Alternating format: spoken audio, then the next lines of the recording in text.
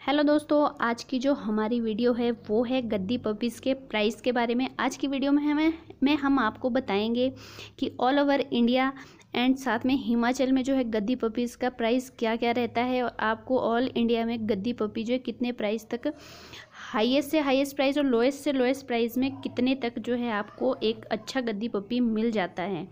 और प्राइस के साथ जो है फ्रेंड्स हम आपको ये बता दें कि ये जो है, हम अपने पर्सनल एक्सपीरियंस के थ्रू आपको प्राइस के बारे में बता रहे हैं। हो सकता है कि ऑल इंडिया में आपको इससे भी डिफरेंट प्राइस देखने को मिल जाए। अगर आप कहीं उसे परचेज कर कर रहे हो या आपने किया हो हो सकता है कि आपको इससे भी ज़्यादा हाई क्वालिटी में हाई प्राइस में जो है पप्पी मिला हो या लो प्राइस में मिला हो तो फ्रेंड्स, ये जो है हम अपनी पर्सनल इन्फॉर्मेशन आपको दे रहे हैं अपने पर्सनल एक्सपीरियंस से। तो चलिए फ्रेंड्स, वीडियो शुरू करते हैं। फ्रेंड्स, गद्दी पपीज़ का प्राइस जो है, हाईएस्ट प्राइस जो है, पंद्रह से अठारह था अठारह हज़ार तक रहता है। और लोएस्ट से लोएस्ट जो है six seven thousand eight nine ten thousand अलग अलग प्राइस में जो है आपको गद्दी पप्पी ऑल इंडिया में एंड हिमाचल में मिल जाएगा। फ्रेंड्स अब प्राइस के साथ जो है मैं आपको एक बात क्लियर कर दूँ कि अगर आपको गद्दी पप्पी हाईएस्ट प्राइस में मिल रहा है तो नेचुरली है वो बेस्ट क्वालिटी का भी होगा, क्योंकि हमेशा प्राइस जो है क्वालिटी के हिसाब से ही होता है।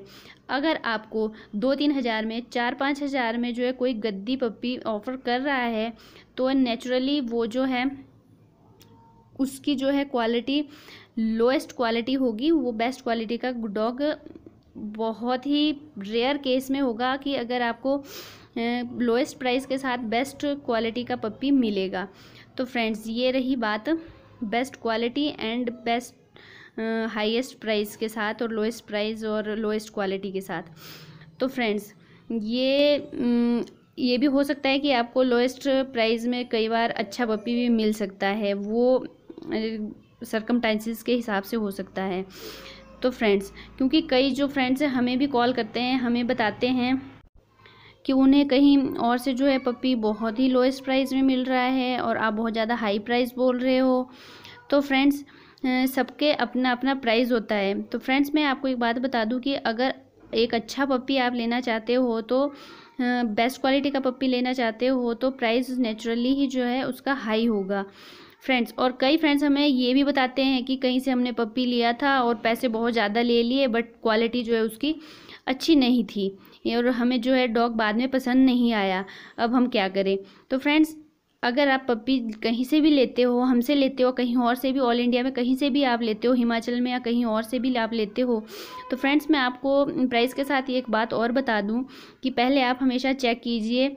नंबर वन उसके मदर फादर की जो है हिस्ट्री आप चेक कीजिए कि मदर फादर पपी के किस तरह के हैं।